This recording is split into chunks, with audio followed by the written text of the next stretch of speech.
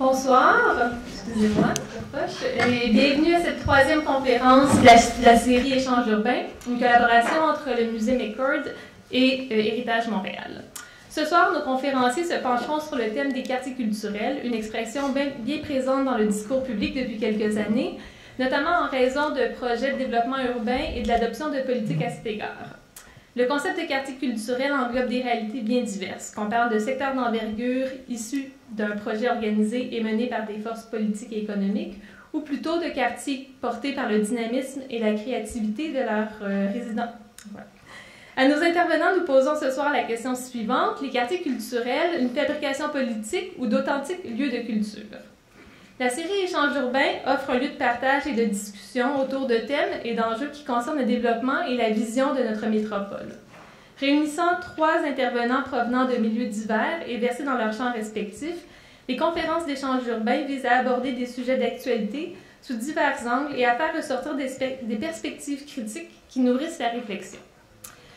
Please note that tonight's presentation will be in French. However, you are invited to participate to the question period following the conference, in French or in English. We also invite you to enjoy the cocktail in the atrium after the lectures. Je tiens à remercier nos trois conférenciers de leur présence. Je vais donc les présenter. Euh, premièrement, sociologue Guy Bellavance est professeur agréé au Centre Urbanisation, Culture, Société de l'Institut national de recherche scientifique, l'INRS, à Montréal. Il s'intéresse spécialement aux problématiques du travail artistique et de la consommation culturelle dans les milieux urbains et les agglomérations métropolitaines.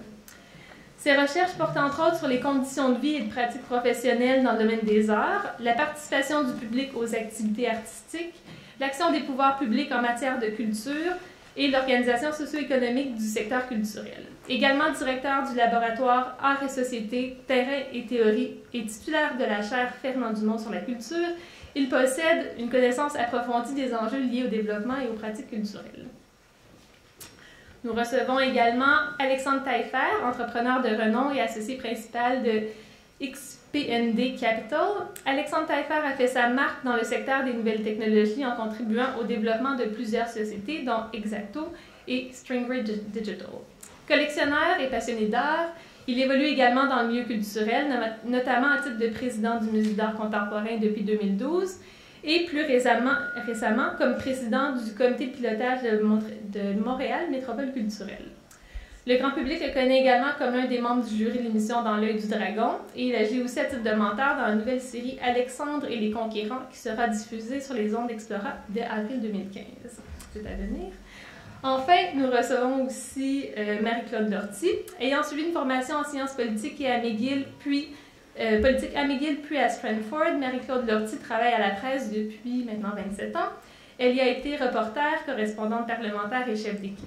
Actuellement, c'est à titre de columniste qu'elle partage ses réflexions sur l'art, la ville et les relations hommes-femmes, ainsi que sa passion de la gastronomie. Sensible au caractère, au caractère distinctif qui font les métropoles de ce monde, elle entretient régulièrement ses lecteurs des bienfaits de l'art et de l'architecture sur euh, la collectivité. Ayant une affection particulière pour les grandes métropoles euh, scandinaves et Naples, Marie-Claude Dorty demeure très attachée à, Montréal, qu'elle met si bien en valeur par le biais de ses chroniques journalistiques. Alors, je cède maintenant la parole à Dinou Bombarou, directeur des politiques d'héritage Montréal, qui va poser les balises de la conversation de ce soir. Merci.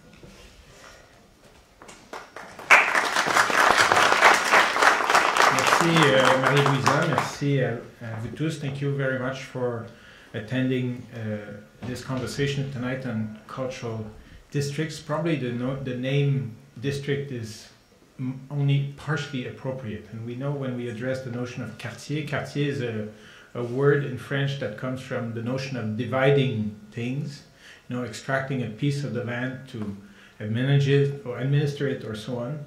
It's also uh, the location where an army, a regiment sleeps. And I think we want to have a different perspective on that. En, anglais, il y a la notion de neighborhood qui est peut-être intéressante. Comment est-ce qu'on l'aborde? À Montréal, cette idée de quartier culturel, comme ça vient d'être mentionné, est d'une euh, invention ou d'une utilisation plutôt récente. Si on considère qu'on va bientôt avoir 375 ans, il y a quelques années, d'ailleurs, au McCord, ici, on, on soulignait les 475 ans de l'invention de Montréal à partir du moment où on a donné un nom au Mont-Royal dans les livres en Europe. On a donc établi l'existence de Montréal dans l'histoire. Et cela sans oublier qu'avant, il y avait des grandes cités, la cité euh, d'Hochelaga, bien connue. Certains prétendent qu'elle est à côté, elle est peut-être plus de l'autre bord de la. Mais c'est bien d'avoir des mystères dans une ville moderne, parce que sinon, on finit par inventer. Imaginez-vous, on parle de Scandinavie, la quantité de romans policiers qu'ils inventent dans un pays où je pense que le mot crime a de la misère à, trouver sa place dans le dictionnaire national. Alors, donc, euh, les mystères de Montréal sont absolument fascinants. Et la façon dont on a joué avec des mots et projeté des notions sur le territoire est aussi intéressante. Il y a effectivement quelques années, il y a 25 ans en fait, en octobre 90, la ville de Montréal euh, lançait une consultation sur euh, le plan directeur d'aménagement et de développement de l'arrondissement Ville-Marie. Il y a quelques mois, on a eu une consultation sur le schéma d'aménagement et de développement. Et avant ça, c'était le plan de développement d'ailleurs Alexandre Taillefer, plusieurs participants ici ont participé aux consultations publiques et ça a été assez intéressant de poser la question de la place de la culture dans le développement de la ville. À l'époque, on parlait du rayonnement de Montréal à travers ses activités culturelles. On parlait beaucoup de la place des arts. C'est un, un, élément de moteur. So we had a cultural engine, a cultural focus, and a very strong attention in the 1990s to the cultural dimension and identity dimension of the urban fabric. So the scale, heritage views on the mountain, and so on. INRS at that time had received a mandate to make some studies mm-hmm. to supply information to the planning department that was inventing planning in a modern way to Montreal. And they had all sorts of fields that they were researching housing, economy, and so on. But culture was not there, although the document is full of notion of culture activity. Just that it was seen differently. Today, On est quelques années après le rendez-vous Montréal Métropole culturelle et quelques années encore davantage après le sommet de Montréal de 2002 qui a amené l'idée de quartier des spectacles. Je pense qu'on n'est pas dans le périmètre exact du quartier des spectacles. Ça doit commencer un petit peu plus loin par là. Et euh, on se pose des questions sur cette idée d'authenticité, de la place de la culture dans l'urbanité, pas juste dans l'urbanisme, mais son, sa réglementation, et ça fait partie des éléments qu'on voudra explorer ce soir. Qu'est-ce que je voulais euh, aussi mentionner? On a cette notion de lieux authentiques qui ont une valeur culturelle, une vitalité culturelle, mais euh, ce qu'on a vu à travers plusieurs observations, c'est que euh, l'espace urbain, mettons, on l'appelle le where en anglais pour être bilingue un petit peu, on a beaucoup d'attention qui est portée sur placé sur les usages, les activités, c'est le software. On travaille beaucoup à financer des équipements. Certains sont essentiels, d'autres sont des paris sur l'avenir, euh, intéressants parfois même, euh, essentiels à leur façon. C'est le hardware. Mais on a surtout une tradition de Tupperware. Combien de fois est-ce qu'on va placer l'urbanité dans les programmes culturels? Comment est-ce que la porosité s'exerce? Là, vous avez l'occasion, à travers la nuit blanche, de voir peut-être des, des, espaces de transaction, des, des, lieux comme les quartiers universitaires. On est en face de McGill, plus loin, c'est Concordia avec le quartier Concordia, un peu à côté. Lucam ont réussi à leur façon à façonner des quartiers, ce que l'Université de Montréal, peut-être à sa manière, a créé autre chose, mais ce n'est pas même, euh, la même dynamique d'urbaine. Alors, on voulait, à travers ça, travers l'échange ce soir, réfléchir sur ces notions-là. Vous savez que le mot quartier à Montréal, il était associé de manière très durable à des sites comme le quartier latin, dont le mot apparaît au 19e siècle, le quartier chinois, dont le mot apparaît dans les années 1930. C'est un mot quartier chinois. Autrement, c'était les paroisses et les wards qui définissaient les territoires de la ville. Et euh, plus récemment, on a vu apparaître la notion de pôle, c'est peut-être avec le Grand Prix, la pôle position. Mais on a aussi avec le secteur de la santé qui prend l'importance, c'est les corridors culturels et les bénéficiaires de la culture et finalement beaucoup d'injections de vitalité et tout ça. Mais euh, on a vu aussi apparaître des quartiers qui ont une, mission autre. Quartier de la fourrure. Ça vous quelque chose? Ça n'existe plus, là et mon temps est, est, écoulé, mais je, termine bientôt. Parce que si je veux discipliner ces éminents personnages, il faut quand même que je montre un peu de discipline moi-même. Mais quartier des affaires, on a eu le quartier de, international, qui est un grand succès d'aménagement.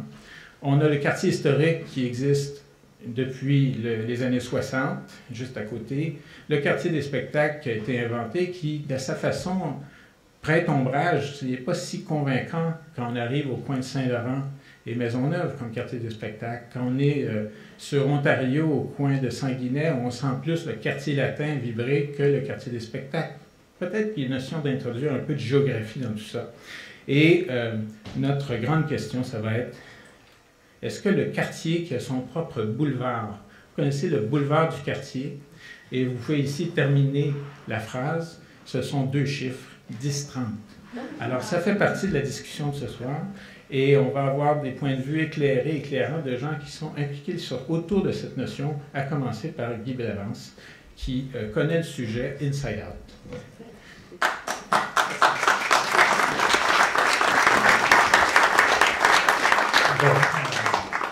Merci Dino. Euh, bon, alors, qu'est-ce qu'un quartier culturel et qu'est-ce qu'un quartier authentiquement culturel? Euh, euh, bon, alors, c'est toute la question. la notion de quartier culturel, c'est une notion paradoxale, qui est volatile, qui recouvre des réalités à la fois empiriques et symboliques, et qui à la fois une question de béton et d'ambiance, on peut dire. Donc, euh, il y a toujours le risque de verser du côté du béton, du côté de l'ambiance. Euh, c'est une, une, réalité, je dirais d'abord, euh, empirique, administrative, un secteur urbain où il y a beaucoup de culture, d'équipements, d'activités, de services, d'aménités dit culturelles, beaucoup d'artistes et de, de, travailleurs culturels éventuellement. mais ça reste une réalité volatile dans la mesure qu'elle n'est pas strictement géolocalisable. Les limites de ces quartiers euh, sont difficiles à tracer euh, administrativement. Euh, on en perçoit d'emblée l'unité, mais celle-ci tient davantage à son ambiance, à son atmosphère, à sa valeur symbolique, donc plus qu'à sa délimitation proprement administrative. Bon, j'ai apporté cette image, euh, qui est une image qui, a beaucoup circulé à un moment donné. C'est tiré d'une étude de Hill Strategy euh, sur les quartiers euh, artistiques et non pas culturels. Donc, c'est vraiment une représentation d'une partie de, ce que ça pourrait être un quartier culturel. C'est une sorte de quartier culturel. En fait, c'est des quartiers qui sont identifiés en fonction du lieu de résidence des artistes. Et c'est des quartiers à Montréal, enfin les dix quartiers, les dix zones on dit quartier ici, mais c'est plus des zones postales en réalité, euh, qui, euh, qui rassembleraient euh, des taux de concentration beaucoup plus élevés que la moyenne nationale, etc. Donc Montréal se, caractérise un peu de ce point de vue-là par un très, par rapport à Toronto par exemple ou Vancouver, par un, taux de concentration très élevé de ces artistes dans les anciens quartiers centraux de Montréal. Alors qu'à Toronto, c'est beaucoup plus disséminé, ou à Vancouver encore plus disséminé à l'échelle de la ville. À Montréal, il y a une très forte concentration dans ce qu'on appelle les anciens quartiers centraux et euh, autour, en fait, du quartier des spectacles. donc, le quartier des spectacles n'est pas, euh, euh, un, élément de ça. Donc, c'est intéressant de voir qu'il y a vraiment une, diffusion, si on veut, de, de, la vie culturelle, évidemment et que la, définition d'un quartier culturel va, varier selon les critères qu'on va prendre pour le définir. Si on prend, si on prend le lieu de résidence, le lieu de travail euh, des, artistes, par exemple, euh, ou euh, d'autres, les lieux de consommation, donc touristiques. Alors, la, la, question des quartiers culturels a été, comment dire, a eu beaucoup de, enfin, c'est beaucoup développé, surtout en Angleterre depuis les années 80. Euh, dans une perspective euh, souvent de, de, revitalisation des, des, quartiers euh, dévitalisés ou dégradés, etc. Et on a affaire finalement à une documentation très polarisée entre, d'un côté, on a des guides de développement des, des quartiers culturels, euh, le toolkit, en fait, le making of, comme chacun peut faire son quartier culturel, donc il y a des, protocoles, des façons de choses à faire. Et de l'autre côté, donc une littérature plutôt euh, d'action qui est destinée beaucoup aux politiciens et aux hommes, euh, enfin aux, municipaux, aux fonctionnaires municipaux aux gens qui, qui veulent développer les quartiers, aux promoteurs aussi. Et euh, de l'autre côté, on a une littérature qui est plutôt euh, des études de cas, alors là, qui sont beaucoup plus critiques en général, qui, euh, qui font des case studies. bon, là, il y en a aussi de toutes les sortes, de toutes les variétés, et puis ça, il y en a dans tous les pays aussi. c'est extrêmement, extrêmement varié. Bon, j'ai une étudiante, par exemple, qui a fait sa thèse sur un quartier, un district culturel à, à Beijing, à Pékin. Euh, et euh, en Chine, effectivement, il y a une, euh, grosse tendance de développer des, des, creative districts, des, en relation au développement d'une économie créative. Alors, il y a une espèce de, de comment dire, de, standardisation peut-être aussi, ou de, de trend, de, développer des quartiers culturels en lien évidemment avec le positionnement mondial, la compétitivité urbaine. La culture devient un élément de, la, compétition, urbaine et, euh, c'est une des dimensions importantes de, la, cette notion de quartier culturel. Euh, une autre dimension, c'est euh, ce que j'appellerais la, revendication euh, ou la mobilisation citoyenne, celle-là, pour une décentralisation culturelle. Hein, c'est la vie culturelle des quartiers, qu'une vie culturelle soit possible en dehors de, du centre ou à la périphérie, ou enfin à l'échelle entière du territoire, donc dans différents quartiers de ce point de vue-là, euh, c'est aussi une demande de reconnaissance de l'existence d'une vie culturelle de quartier, de, l'existence. C'est beaucoup lié, je pense, à la, nostalgie ou à la, mythologie euh, qui est réelle aussi du village urbain, enfin, cette, réalité euh, organique, plus organique qu'on trouverait dans les villes. Alors que l'autre dimension est plutôt liée à une volonté de de, se participer à la ville globale, à la ville créative globale. On a ici plutôt du côté de la décentralisation, cette idée de, de vie de quartier, de neighborhood. Euh, alors, à Montréal, la notion s'est répandue aussi beaucoup par opposition à, à celle de pôle culturel aussi, il y a eu celle de corridor dont tu parlais tantôt aussi, qui est, une autre notion qui, qui qu'on rigole, mais c'est, qui est peut-être plus intéressante en fait, parce que c'est vrai, si on regarde la structuration de l'organisation des milieux artistiques à Montréal, ça, ça se structure beaucoup dans des corridors industriels, dans des anciens corridors industriels, plutôt qu'à euh, l'échelle d'un quartier comme tel. Donc, mais euh, disons que la notion de quartier culturel à Montréal s'est beaucoup développée en fonction de cette idée de euh, de pôle culturel en par opposition, en fait, pour échapper à cette polarisation en réalité euh, effectuée euh, ou perçue telle par le quartier des spectacles qui effectivement canalise beaucoup d'efforts de, comment dire, d'urbanisation de la culture ou d'intégration de la culture dans les, dans les facteurs de la vie urbaine. Donc, euh, évidemment, cette mobilisation citoyenne a été. Il y a vraiment eu une mobilisation autour de cette, de cette euh, volonté de, développer les quartiers euh, culturels en dehors du centre ou à la périphérie. il y a eu une commission, une consultation publique, il y a eu près d'une centaine de mémoires qui ont été déposées, ou enfin, une, soixantaine ont été déposées. Il y a eu encore plus de gens qui y ont participé. Donc il y, a, eu euh, une activité assez forte autour de cette question et on peut voir vraiment les arrondissements euh, se mobiliser autour de la volonté de développer éventuellement des politiques culturelles à l'échelle de l'arrondissement et non plus simplement euh, à l'échelle macro de la ville.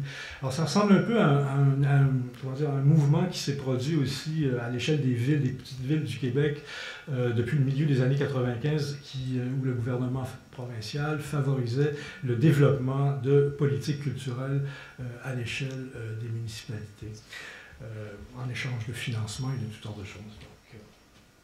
bon, donc, l'aspect que je mentionnais tout tantôt, l'aspect de la place des artistes dans la ville.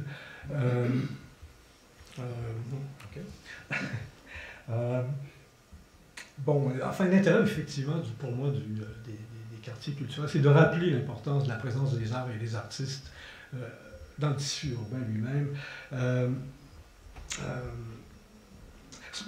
c'est une notion qui, souligne en quelque sorte la, contribution des artistes, non seulement au plan économique, mais aussi au plan économique, mais leur, leur contribution à, l'ambiance, à l'atmosphère, à la, à l'esprit aussi des villes. Donc, c'est pas simplement une question d'atmosphère de, ou d'ambiance au sens superficiel, mais euh, une contribution probablement intellectuelle qui est plus, importante que celle qu'on leur accorde généralement.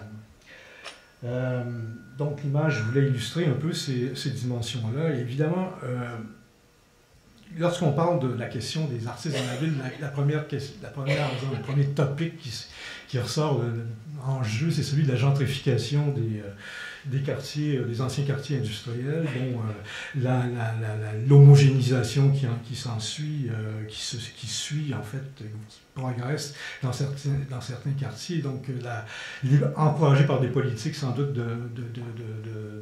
d'habitation qui favorisent les condos les artistes ont, reculé, enfin, ont reculé progressivement du, sud de la ville de Montréal, enfin du Vieux-Port finalement, de ce qui était le Vieux-Montréal dans les années 60. Euh, bientôt, ils, sont, rendus à un cycle. Il y, a, eu une espèce de, d'étalement, si on veut. Euh, ils étaient plutôt dans les années 80 autour du pôle Ontario, dans ces coins-là.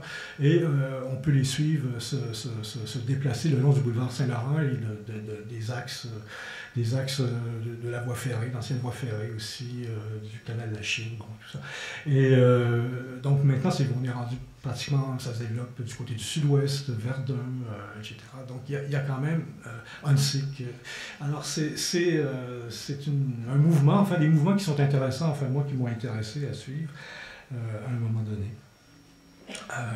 donc la question, bon évidemment, la question de la gentrification, c'est un problème assez complexe. On n'aura pas le temps en 10 minutes, évidemment.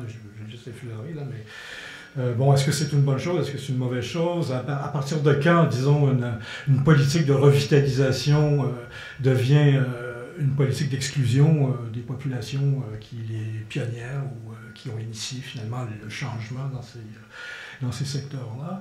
à partir de quel moment la gentrification déborde bon, et crée aussi des espaces assez homogènes, des, espaces thématisés? Et, euh, qui tendent à la pasteurisation, si on veut, des activités qui, euh, qui, sont tenues ou qui sont encouragées. Euh, donc, bon, il y a peut-être un autre point que, que, j'aimerais souligner, en fait, qui est plus, synthétique peut-être, c'est celui de le succès, d'une certaine manière, de l'idée de quartier culturel tient beaucoup à la, à la liaison qui a été opérée entre le thème de la diversité, celle des quartiers, etc., et celui de l'emploi l'emploi culturel des artistes, des travailleurs culturels, tout ça. Il y a, euh, il y a eu euh, dans, la littérature et dans les études, enfin dans les, dans les mouvements aussi de mobilisation, euh, ces, deux, ces deux dynamiques d'appel de diversité d'un côté et de développement de, de, l'emploi de l'autre sont fortement présentes. Donc, je pense que je peux avoir fait le tour. Je vais préparer.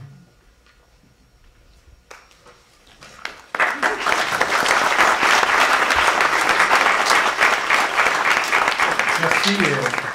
Euh, sortez pas là. je pense que ça vaut la peine de réfléchir, surtout à héritage, on a réussi à sauver la peine de lait, donc la pasteurisation et l'urbanisme, ça nous intéresse à plusieurs degrés. Félicitations pour cette euh, subtile référence à notre euh, opéra maestra. intéressant, cette relation béton-ambiance, c'est vrai, on va revenir là-dessus, puis les, c'est vrai que le modèle chinois, c'est facile de dire c'est en Chine, mais dans le fond, on peut avoir aussi l'attitude de vouloir le faire sans vouloir, sans y penser ici. C'est quartier instantané, euh, super planifié. Euh, on a, euh, j'ai oublié de mentionner, il fut un temps où la ville de Montréal avait adopté cette politique. C'est pour ça qu'on pose la question quartier authentique ou fabrication politique, c'est pas anodin comme choix définir les quartiers, dans le territoire de Montréal, c'était des quartiers sociologiquement cohérents. C'était la, géographie politique sous l'administration du maire Bourque.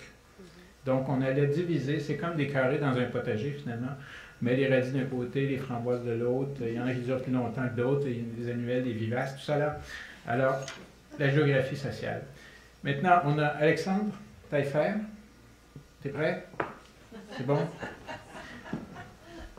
On, craint. On craint ici. J'adore Dis-nous. Merci, euh, excellente présentation. Vous serez indulgent, je ne suis pas un urbaniste, je ne suis pas un sociologue, je suis avant tout un amoureux de Montréal et un amoureux de la culture.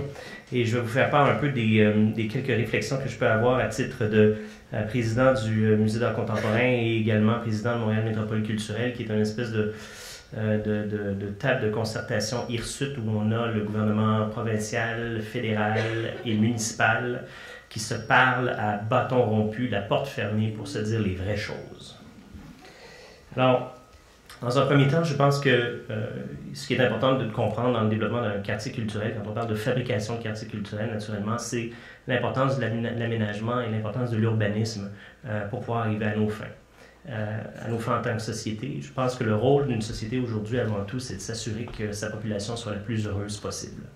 Et le bonheur aujourd'hui passe par, et je suis un adepte à ce titre-là du livre de Jeff Speck que vous avez peut-être lu, qui s'appelle Walkable City, passe avant tout par la proximité que la population peut avoir avec ce que je considère être très important, les trois C. Les trois C qui sont le commerce, la culture et les conversations. Sans ces trois éléments-là, on n'a pas de vie. Et aujourd'hui, la richesse d'un quartier, et je vais revenir sur la qualification de quartier, va passer par la qualité de son commerce, la qualité de sa culture et la qualité des conversations que les gens qui y habitent vont être en mesure d'avoir avec les commerçants, avec des artistes, avec euh, les voisins. Et c'est ce qui rend les gens heureux aujourd'hui. Les gens ne s'en rendent pas compte. On a vécu le dictat de l'automobile, on s'est exproprié, on pensé que le bonheur résidait dans 4000 pieds carrés de gazon, à 17 km du centre-ville. Et aujourd'hui, le phénomène de densification qu'on voit, qu'on euh, qu'on détecte, je pense, est un, phénomène profond qui va venir modifier considérablement la façon dont les gens vont fonctionner. Moi, je vous garantis que d'ici 10 ans, les foyers qui auront plus qu'une voiture dans leur euh, entrée de garage seront regardés de façon aussi horribilée que les gens qui ne sortent pas leur bac de recyclage.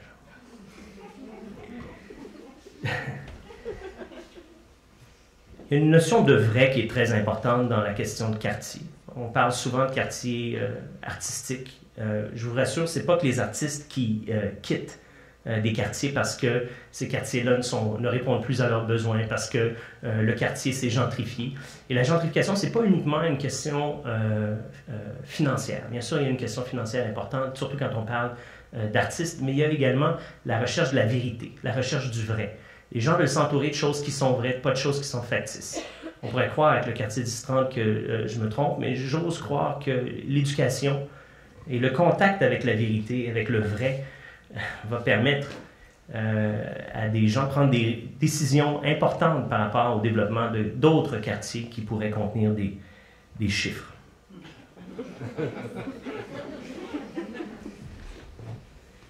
je, qualifie le, On parle souvent de quartier, il y a une, différence importante selon moi à, déterminer. Le quartier, euh, pour moi, est une zone de vie. On parle du quartier Outremont. Le quartier Outremont, c'est plusieurs quartiers. La rue Laurier, c'est plusieurs quartiers. Un quartier aujourd'hui tel que défini par euh, Yann Gell, c'est à peu près euh, un kilomètre, un kilomètre et demi. C'est ce que les gens sont en mesure de marcher. Et à Montréal, on n'a pas fait aujourd'hui une cartographie réelle des quartiers ou ce que j'ai appelé les zones de vie. Il y a un élément, il y a une dame qui, euh, est venue me rencontrer dernièrement qui travaille, en fait, qui est la directrice générale de la ligne bleue. Vous connaissez peut-être le, projet de la ligne bleue. La ligne bleue, aujourd'hui, a, fait répertorié les euh, différents euh, sites culturels disponibles autour de la ligne de métro bleue. Et un des enjeux que cette dame-là a aujourd'hui, c'est le financement de son initiative. L'enjeu du financement de l'initiative de ligne bleue est sérieux. Mais vous savez, ce qui manque dans l'équation ligne bleue aujourd'hui, c'est le lien avec le commerce. Le commerce et la culture, c'est un lien symbiotique. Le commerce va bénéficier de la culture et vice-versa. Ce qui est très important aujourd'hui, c'est de voir comment est-ce qu'on est en mesure de créer de meilleurs maillages entre les différents commerçants et la culture. Aujourd'hui, par contre, on, critique beaucoup aussi le quartier des spectacles. On dit qu'est-ce que c'est cette invention? Pourquoi est-ce qu'on a euh, créé un monstre comme ça? Pourquoi est-ce qu'on est aujourd'hui en train de concentrer nos investissements en culture dans un quartier? La réalité, c'est qu'il y a plusieurs types de consommation culturelle. La consommation culturelle d'un spectacle à Wilfrid Pelletier n'est pas du tout le même type de consommation qu'une salle comme Prospero euh, sur Ontario. Il y a des types de consommation culturelle qui sont différentes. Et la concentration culturelle n'est pas un exemple montréalais. On pense au Lincoln Center, on pense aujourd'hui au Museum Mile à New York. Je peux vous nommer une quinzaine d'endroits comme ça dans le monde qui a concentré ces infrastructures culturelles. Et c'est une, une consommation culturelle qui est essentiellement une consommation de destination. On va se déplacer pour aller voir un spectacle. Ceci dit, pour euh, revenir au bonheur de notre population, ce qui est important, c'est de pouvoir fournir à la population une consommation culturelle le plus régulièrement, le plus souvent possible. Vous voyez la place des arts, le quartier des spectacles comme étant une fête, comme étant peut-être un déplacement euh, pour les chanceux hebdomadaires, pour les gens euh, qui ont des agendas chargés mensuels, voire trimestriels, voire annuels. C'est une fête, aller au quartier des spectacles. Et pour enrichir et, rendre la population plus joyeuse, plus heureuse, il est important de pouvoir leur offrir des infrastructures culturelles à longueur d'année. On invente aujourd'hui, on développe des bibliothèques, on développe des centres culturels locaux. Et on oublie de prendre en considération comment est-ce que la population va consommer ça. Et aujourd'hui, à Montréal, il faut s'assurer qu'on développe nos quartiers culturels en fonction des zones de vie qui sont déjà existantes. De croire que l'on va implanter un lieu culturel et qu'une zone de vie va se développer autour de ça, c'est une très mauvaise stratégie. Il faut au contraire adopter des zones de vie qui sont déjà peuplées, où il y a déjà du commerce. Il faut s'assurer que s'il y a de la culture qui s'y implante, ou s'il y a déjà de la culture, parce que probablement qu'il y a déjà eu une émulation dans certains quartiers, on le voit entre autres sur la rue Bernard, on le voit dans le quartier L'Acadie, on le voit sur la rue Fleury, il y a des endroits culturels avec un, commerce de proximité qui est très important. Ces gens-là, le succès euh, du, euh, du, commerce et de la culture va beaucoup passer, je le répète, sur la question de grassroots. Dis-nous, je, te demanderais peut-être, comment est-ce que tu traduirais en français grassroot? C'est les racines du gazon. Les gens sont à la recherche de racines, racines du gazon.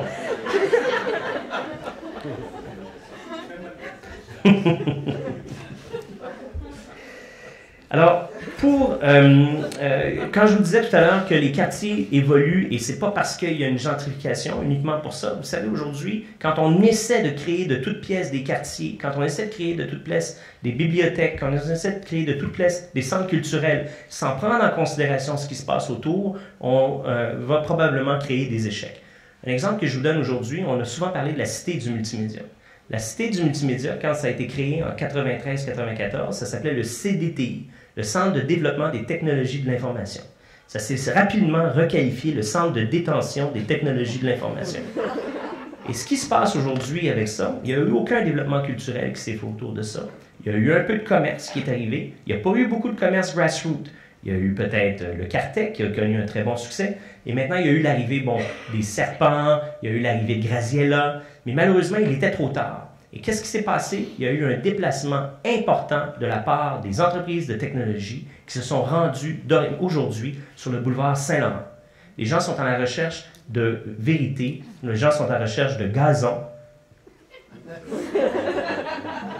Grassroot.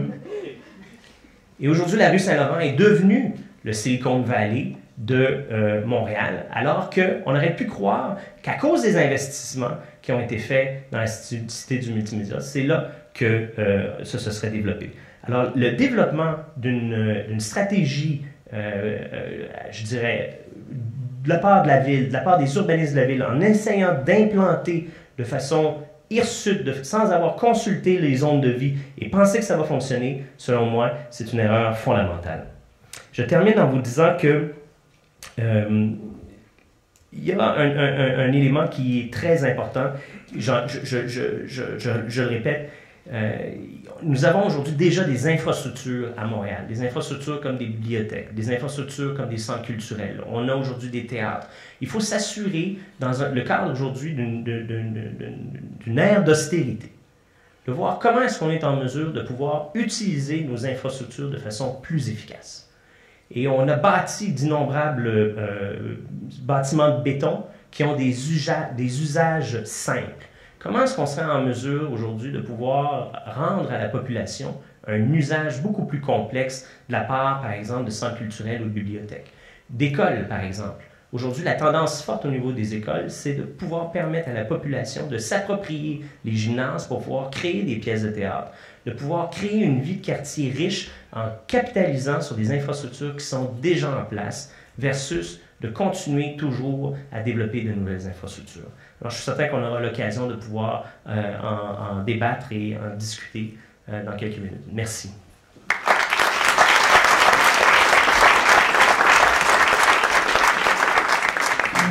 Merci, euh, M. Taillefer.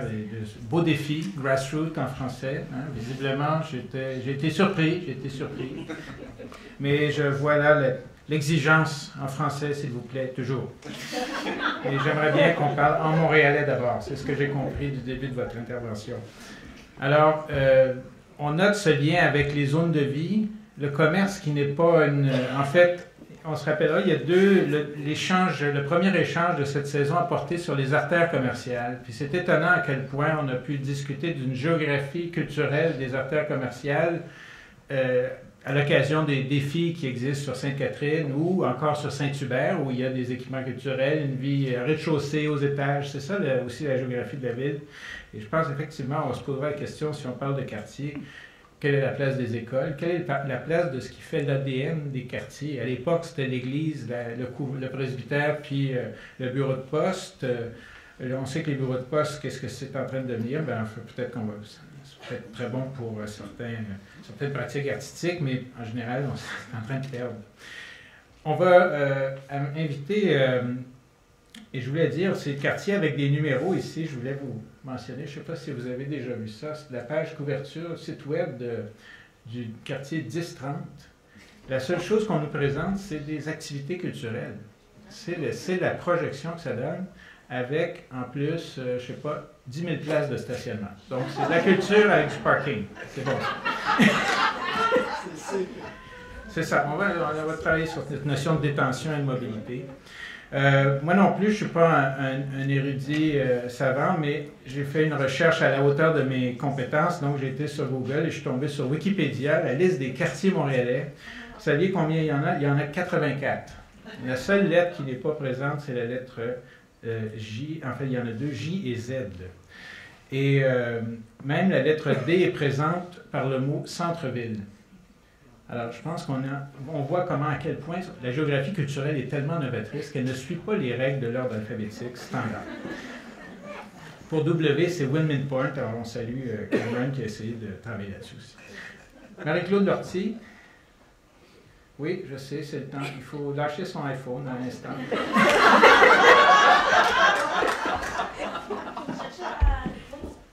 Ah, le chrono, non, non, c'est super équipé pour le chrono. C'est la chance des intervenants. Alors, je vais partir mon chrono. D'abord, je voulais dire, je suis très content d'être ici en compagnie de, ma foi, une salle remplie d'intellectuels. Je pense qu'on peut se calmer. euh, vous, comprenez la. Euh, oui. OK. Euh, c'est parce que j'ai, j'ai des faits sur Twitter tout à l'heure, puis les gens disent bah là, vous prenez pour une intellectuelle, Je crois que hum, je suis très contente en fait qu'on réfléchisse à tout ça. J'ai un peu de difficulté à me demander qu'est-ce que je vais dire maintenant que, que hum, Guy et Alexandre ont parlé parce qu'ils ont parlé beaucoup de choses que je voulais aborder. la question au départ, c'était est-ce que vous êtes, qu'est-ce que vous pensez des quartiers culturels comme création? Puis la première chose qui m'est venue à l'esprit en parlant de création, quand on crée des quartiers, c'est le film de Michael Moore, Roger and Me, d'il y a, euh, il y a euh, une bonne vingtaine d'années, je pense. Qui, oui, siècle dernier.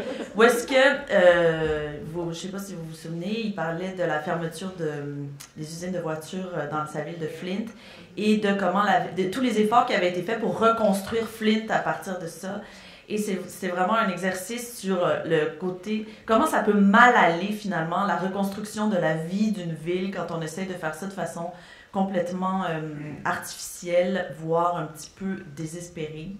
Et, euh, et je me dis, ça m'a un peu traumatisé en fait ce film-là parce que ça me, ça me ça laisse l'impression que vouloir construire des choses de toutes pièces, c'est vraiment au départ une très très très très mauvaise idée.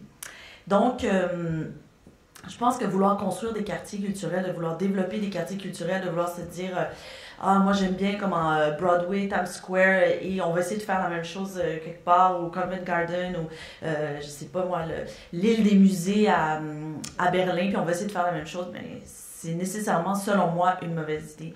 Je pense que la la, la ville doit être culturelle parce qu'elle est culturelle, parce qu'elle est remplie d'artistes et remplie de gens qui ont envie de, de, fréquenter la culture. Plus, je dirais que consommer, vraiment fréquenter la culture et, euh, et, euh, et, en être plus heureux euh, dans leur vie quotidienne.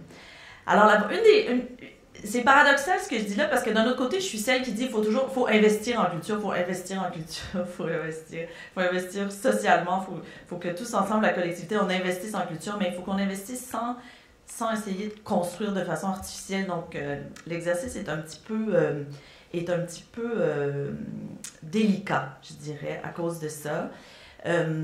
Un des premiers investissements que je ferais si c'était possible, mais ce n'est pas parce que je pense qu'on se ferait traiter de de fou. Mais peut-être qu'Alexandre, quand tu vas être maire de Montréal un jour, il pourrait faire ça. Je pense qu'il faudrait prendre les fonctionnaires de la ville de Montréal, les envoyer en voyage, une grande tournée culturelle dans le monde, leur faire visiter des musées, leur faire visiter des villes où la culture fait vraiment partie du quotidien puis de la qualité de vie pour voir comment euh, à quel point c'est important. Puis quand je parle de culture, on parle de, cinéma en plein air, de sculpture dans la ville, de grands musées évidemment, de théâtre, de, de autant de, de, grandes institutions culturelles que de petites institutions culturelles. Je pense à ça parce que je m'inquiète de la ville de Montréal, je m'inquiète d'eux. Il y a une anecdote que je vais vous raconter qui m'a, une autre, une autre truc qui m'a traumatisée. C'est euh, l'été dernier, je pense, ou il y a deux étés la Ville de Montréal a publié une liste des entreprises avec qui euh, ne voulait plus faire affaire parce que c'était retrouvé euh, mentionné devant la commission Charbonneau. Et euh, le, collègue qui est assis juste derrière moi dans la salle de rédaction est en train de passer à travers la liste des compagnies de construction. Puis à un moment donné, je l'entends parler avec le chef de division puis dire Ce que je comprends pas, c'est qu'à la fin de la liste, eux, on les connaît, eux, on les connaît, on les connaît. Mais là, il y a un, un nom, c'est David Armstrong Six. Puis, puis c'est un mystère. Qui est cette personne-là? Puis cette entreprise-là, on la retrace pas, on ne sait pas. Ça, c'est la liste noire de la ville de Montréal. Alors, euh, là, moi, j'entends ça, et puis je dis David Armstrong Six, mais c'est le nom d'un artiste. C'est le nom d'un sculpteur. Fait que là, un sculpteur? Je dis, oui, oui, c'est le nom d'un sculpteur. J'ai dit, il est représenté par Persian Laundry. Il présente, il fait un truc à Los Angeles cet automne. Ah ouais? Et puis là, fait que là, on commence à se poser des questions, puis on rejoint le sculpteur en question. Et ce qui est arrivé, c'est que la Ville de Montréal l'a mis sur sa liste noire, dans la même liste que les compagnies qui sont retrouvées par la commission Charbonneau. J'insiste, avec le genre de budget de fraude qu'on peut s'imaginer, parce que dans le cadre d'une histoire de, de, soumission pour les sculptures de la rue Jeanne-Mance, il y avait eu un gros, gros, gros malentendu au sujet de la facturation de la TPS et de la TVQ, et qu'il a avoué qu'il y avait comme peut-être facturé alors qu'il n'aurait pas voulu, il n'aurait pas dû facturer. Finalement, mais il a tout avoué ça par écrit dans un échange de courriel. Et, euh, et la ville a dit Ah, il a essayé de frauder la ville, ça a été avoué, il a été reconnu coupable, il a été banni de toute possibilité de jamais faire affaire avec la ville pour le restant de ses jours, je pense, et il a été mis sur la même liste que les entreprises citées à la commission Charbonne. C'est pas une joke là, ce que je vous raconte, c'est vraiment une vraie histoire qui s'est passée. Et quand j'ai vu ça, je me dis comment est-ce qu'une ville peut devenir une ville culturelle, comment une ville peut devenir artistique si les gens qui la, qui, euh, qui l'administrent font ce genre d'erreur? Alors là, j'espère qu'il n'y a pas des fonctionnaires de la ville de Montréal ici qui vont être tellement déçus de ce que je vais dire. Mais moi, j'étais un peu déçue que, qu'un artiste se retrouve sur cette liste-là. Parce que, selon moi, c'est ces gens-là qui font qu'une ville est culturelle, qu'il y a des quartiers culturels, ce sont les gens qui construisent la culturalité, je viens d'inventer ce mot-là, de la ville au, quotidien. Parce que, comme le disait Alexandre et comme le disait Guy plus tard, la mixité d'une ville, c'est vraiment ce qui la rend culturelle. C'est ce qui fait qu'on a envie d'être là, ce qui fait qu'on a envie de, traîner dans les rues, qu'on a envie d'aller manger au restaurant. Il peut y avoir des grandes, des grandes institutions. Je pense qu'il faut investir dans les Lincoln Center puis dans les places des arts de ce monde. Mais la réalité de la culture au quotidien, c'est la galerie d'art dont on sort et où on va et, et, et, dont on profite pour aller, pour visiter le quartier, pour aller dans une librairie, pour aller dans un restaurant où il y aura peut-être des œuvres d'art d'un artiste du quartier euh, affichées. Mais c'est vraiment une espèce de symbiose euh, organique, quelque chose, une espèce d'univers qui se crée et qui est articulé par les artistes, pour les artistes, mais pour tout le reste de, du, euh, du monde. Et c'est n'importe quel euh, politique de développement urbain doit passer par la nécessité de permettre ça, de permettre cette, cette vie-là organique, là, grassroots. Euh, mais c'est vraiment ça, il faut que ça vienne vraiment de la base, il faut que ça soit populaire, je pense que c'est la traduction officielle ou quelque chose comme ça. Et, et, et, si, si les gens de la ville ne comprennent pas et pensent que, que, les sculpteurs sont aussi euh, coupables que des grosses compagnies de construction quand ils fraudent, sachant que je pense que le sculpteur en question, je pense qu'il gagnait à peu près 17 000 par année, en passant. Euh, si si c'est pas compris, je vois pas comment on peut, on peut euh, développer la ville. Alors, je pense que tout passe par la mixité. Est-ce que ça veut dire qu'il faut être contre la gentrification? Non. Mais je pense que le, la réflexion sur le caractère très, très, très délicat du développement des quartiers euh, doit être fait. Parce que si on ne veut pas avoir Soho, par exemple, à, New York, qui est arrivé, enfin, on peut vouloir avoir Soho, c'est pas une mauvaise chose d'avoir des quartiers avec qui attirent des millions de touristes et donc des millions de revenus, mais on sait tous que Soho, à New York, qui a été le quartier des artistes dans les années 80, euh, n'a plus rien à voir avec les artistes, n'a plus rien à voir avec un quartier culturel, c'est une sorte de de, de 10-30 euh, en version plus sophistiquée. C'est d'abord et avant tout un quartier de, de, commerce. Ce qui a remplacé ça dans à New York, je dirais que c'est vraiment Brooklyn maintenant, avec euh, en particulier euh, Williamsburg. Donc, donc les quartiers évoluent et puis la gentrification est vraiment est à la fois quelque chose de très positif parce que ça attire les, ça attire les gens qui ont des sous et qui vont, et qui vont faire vivre le, quartier, qui vont faire vivre les commerces dont, dont, Alexandre parlait. Mais en même temps, ça peut aussi faire, on le sait, là, faire augmenter les loyers et faire, euh, et faire fuir les, les, euh, les artistes. C'est normal, je pense que dans une ville, il y a une évolution des quartiers culturels, des quartiers artistiques qui se promènent un peu dans la ville, mais je pense que si on veut euh, si on veut pas avoir droit à une espèce de crise comme on a en ce moment sur le boulevard Saint-Laurent, il faut quand même être, être, vigilant comme ville sur la nécessité de, de garder une, une, diversité. Et euh, je ne sais pas si ça prend de la réglementation, si ça prend des investissements, si ça prend des... Mais chose certaine, c'est que ça prend des gens sensibles à la réalité culturelle et artistique pour, euh, pour s'assurer que la pour s'assurer que la culture soit vraiment vue comme quelque chose de comme vraiment quelque chose de positif et pas comme quelque chose d'absurde dans une ville et puis qu'on soit pas considéré comme des que les artistes soient pas considérés comme des intellectuels qui euh, qui nuisent au développement économique de leur ville mais bien au contraire le, le moteur de base de de la, de la qualité de vie de nos collectivités. Voilà. Correct? On entend? Ça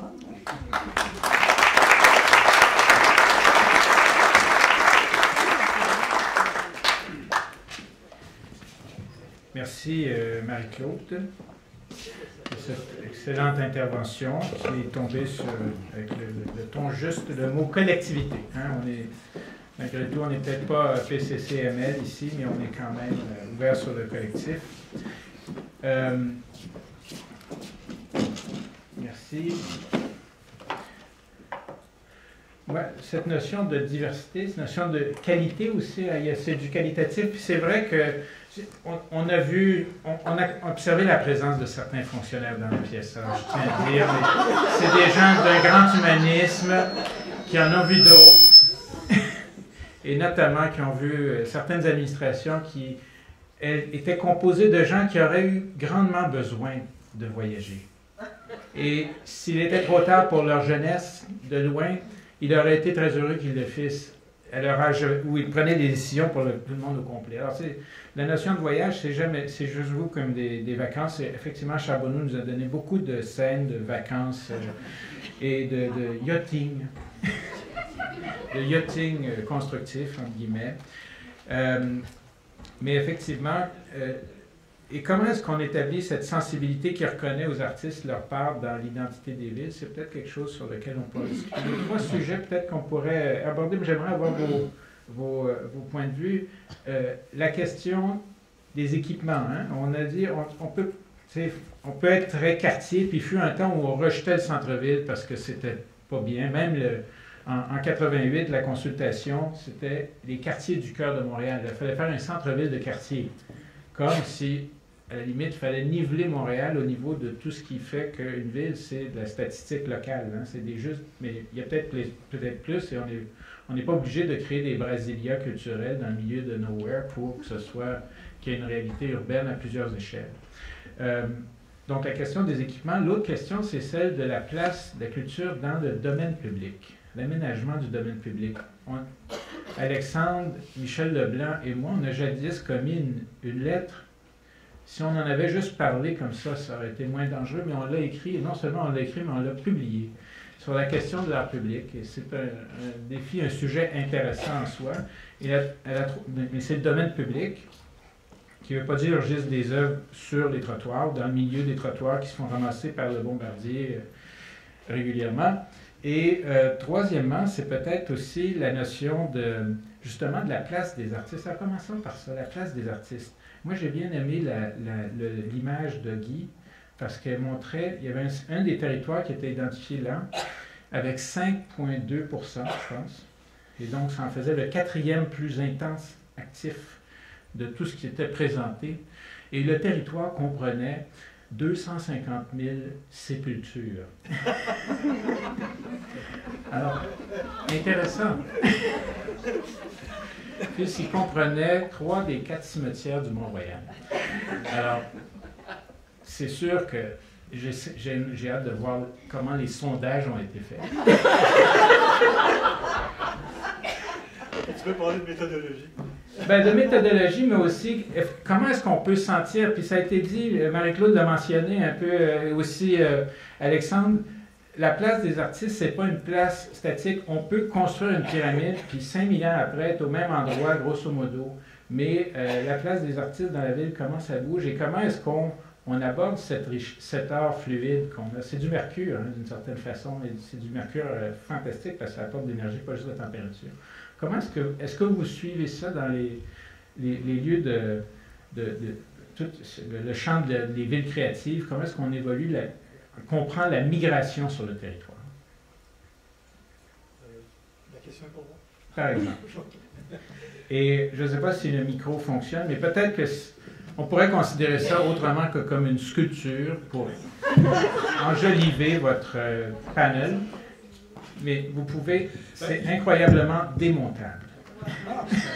Euh, bon, moi, je ne voudrais pas fétichiser les artistes non plus. Ce que je voulais mettre en lumière, c'est plus la présence euh, sous un angle, c'est bon, le lieu de résidence par lequel ces, euh, ces, quartiers ont été reconstitués. D'ailleurs, ce n'est pas des sondages, c'est le ressentiment du Canada qui est à la base des, ah oui? données. Il existe encore. C'était en 2006, c'était des données qui datent de 2006. L'étude a été faite en 2011, évidemment aujourd'hui, c'est plus difficile d'aller chercher ce genre de. il faut être plus créatif. Mais euh, donc, je ne voudrais pas fétichiser inutilement les, euh, artistes. C'est sûr, ce qui est important, c'est plus l'activité euh, symbolique, peut-être, qui, dont les artistes ont été historiquement porteurs dans l'histoire des villes aussi. Bon, c'est pas simplement euh, faire du commerce euh, ou euh, pour développer l'économie locale. Bon, je sais qu'aujourd'hui, j'ai écouté ce que, ce que disait notre ami Alexandre, sur le lien entre commerce et, et, culture. Je trouve que c'est vrai qu'il y a un lien qu'on a sous-estimé longtemps. et qu'aujourd'hui, effectivement, on entend présenter non seulement lien entre l'art et le commerce, mais aussi le commerce comme une expérience proprement culturelle. Hein, c'est un peu ça qui est en train de se passer. C'est-à-dire que les, commerçants mettent à disposition des consommateurs euh, des expériences culturelles, c'est plus des produits. Donc là, il y a, un développement, si on veut, dans une logique euh, euh, néo-capitaliste culturel. En fait, c'est un peu ça dans, laquelle on est embarqué, c'est-à-dire un, nouveau capital, une nouvelle forme, un nouvel esprit du capitalisme qui est totalement culturel et qui passe par euh, la, marchandisation euh, de, ces activités-là et euh, leur intégration aussi de plus en plus dans les, dans, les, dans les, dans les mesures de, planification urbaine dans, les, stratégies de planification urbaine donc la culture devient un facteur non plus marginal ou, même important, mais central dans plusieurs nouvelles théories urbaines. C'est un peu ça qui, est l'enjeu actuellement. Est-ce que euh, c'est pas ça qui est en train de, devenir de nouveau? Bon, Là, évidemment, quand, quand, ça se passe, la culture change aussi, de, risque de changer de caractère. C'est-à-dire c'est plus la même chose. Euh, la dimension, par exemple, intellectuelle peut prendre de bord par rapport à la dimension festive. Euh, des choses comme ça qui peuvent se produire. Moi, je ne suis pas un puriste non plus. je, veux bien aller dans un quartier des spectacles. Je ne suis pas un, anti-quartier des spectacles non plus, mais bon, derrière la, construction du quartier des, spectacles, une logique, une certaine logique néo-capitaliste qui est très claire, qui, est liée au tourisme international. Il faut attracter, le tourisme international, et ainsi de suite. Donc, ce n'est pas un, produit qui est, qui est, dirigé vers la population, euh, vers les résidents locaux. Mais on peut pas, c'est pas nécessairement de poser euh, festif et intellectuel. Là, quand même, euh, Platon a eu quelques banquets célèbres. mais...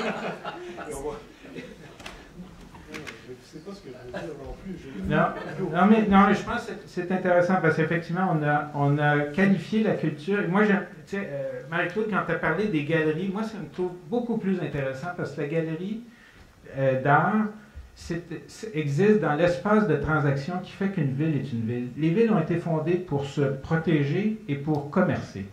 Mm-hmm. Les, villes les plus anciennes dans la vallée de l'Indus, en Mésopotamie, c'était ça leur fonction. Puis le commerce et la culture, l'art a, trouvé sa place, pas juste des lieux de billetterie dans ce sens-là. Oui, oui, mais moi, ce que je dirais en plus, c'est que